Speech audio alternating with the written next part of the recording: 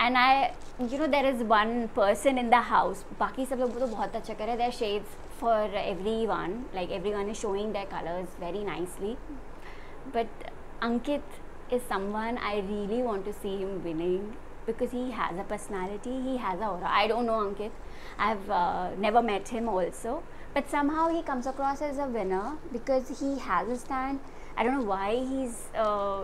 holding himself back. He said, I take time yes. in uh, opening up uh, probably, but then अच्छा करेंगे मुझे ऐसा लगता है कि अगर if he uh, plays well मुझे ऐसा लगता है he will uh, will flourish really nice and he can be one of the winners I can see him as a winner और उनका प्रियंका का जो साथ है वो इतना सुंदर है एंड प्लीज़ जो भी अगर उसको नाम देना चाहते हैं, नाम दो मत दो but it's very beautiful there the love is so pure whether it's friendship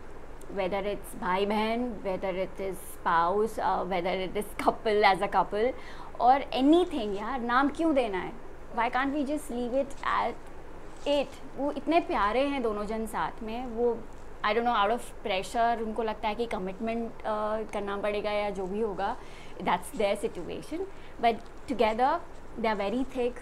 it comes across as you know one they come across as one so I really like watching them together so they are my like kind of favourite people